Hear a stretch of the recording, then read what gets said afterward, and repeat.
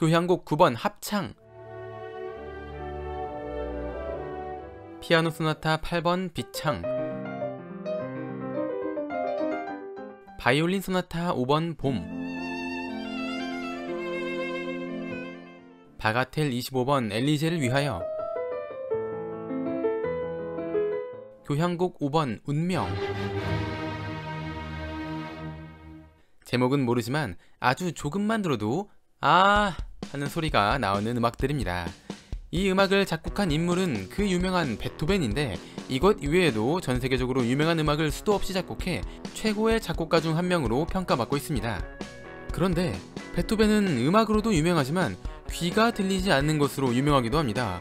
내가 악보에 적은 음악이 실제로는 어떤지 어색한 부분은 없는지 틀린 부분은 없는지 들으면서 해도 그렇게 못 만들 것 같은데 베토벤은 귀가 들리지 않는데 도대체 어떻게 이렇게 엄청난 음악을 작곡한 것일까요?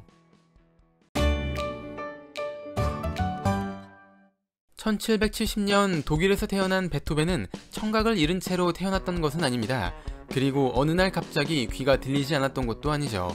베토벤은 성인이 되고 나서 서서히 청각을 잃어가는데 증상이 언제부터 시작된 것인지 원인이 무엇인지는 알아내지 못했다고 합니다. 일찍부터 피아니스트이자 작곡가로 활동했던 베토벤은 자신의 귀에 문제가 생긴 것을 알아챘지만 치명적인 약점이 될 수도 있기 때문에 이 문제를 철저하게 숨겼다고 합니다.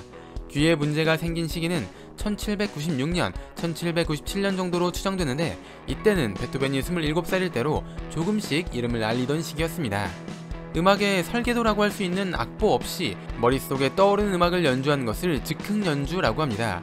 베토벤은 음악적 재능이 뛰어나 악보가 없어도 떠오르는 음악이 어떤 식으로 연주될지 알고 있었기 때문에 즉흥 연주를 굉장히 잘했고 이것으로 유명하기도 했다고 합니다. 베토벤은 1800년 교향곡 1번을 발표하면서 더 유명해졌지만 귀의 문제는 점점 더 심각해져 갔습니다. 멀리서 나는 악기의 소리는 들리지 않았기 때문에 소리를 듣기 위해서 가까이 가야 했고 작게 말하는 소리는 들리지 않았다고 합니다. 베토벤은 이것 때문에 우울증이 생기기도 했고 말수가 적어졌고 사람을 만나지 않으려 했습니다. 스스로 작곡가로서 생명이 끝났다고 생각해 유서를 쓰고 자살을 계획하기도 했습니다. 이후 그가 세상을 떠난 뒤 유서가 공개됐는데 1802년에 쓴 것으로 알려져 있으며 오스트리아의 하일리겐슈타트라는 곳에서 썼기 때문에 이 유서를 하일리겐슈타트 유서라고 부르고 있습니다. 이렇게 절망적인 상황이었지만 베토벤은 포기하지 않고 작곡을 이어갔습니다.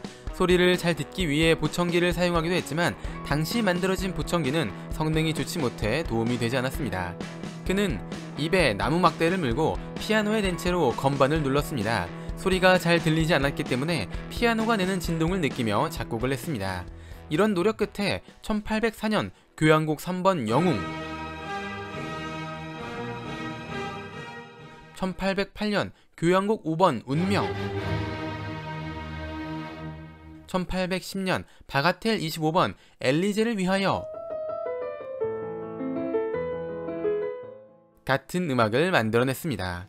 이때 만들어진 음악은 저음이 많이 사용되었는데 일부 전문가들은 베토벤이 의도적으로 저음을 사용했다기보다 고음을 잘 듣지 못하는 베토벤의 상황이 반영된 것이라고 말하기도 합니다. 그리고 1813년 소리가 완전히 들리지 않게 된 이후부터 다시 고음을 많이 사용했다고 합니다. 이때부턴 상상에 의존할 수밖에 없었습니다. 하지만 즉흥 연주로 알 수 있었던 그의 천부적인 재능과 소리가 완전히 들리지 않기까지 약 30년 동안 했던 피아노 연주 덕분에 악보만 보아도 이 음악이 어떤 식으로 연주될지 알 수 있었습니다. 그 결과 이전의 베토벤을 초월한 새로운 음악이 만들어지기도 했습니다. 1823년 디아벨리 변주곡 1824년 교향곡 9번 합창 같은 것들이 소리가 들리지 않는 상태에서 만들어진 음악입니다. 베토벤은 1827년 세상을 떠났는데 당시에는 간염과 폐렴을 사망의 원인으로 봤지만 현대에 와서 그의 머리카락을 분석해본 결과 다량의 납이 검출돼 납 중독으로 사망한 것이 아닌가 추측하고 있습니다. 베토벤은 엄청난 음악을 작곡했기 때문도 있지만 자신의 한계를 극복했다는 점 때문에 역사적인 인물로 평가받고 있습니다. 뇌를 채워줄 은덩어리 지식들 오늘의 은잡지 영상은 여기까지입니다. 시청해주셔서 감사합니다.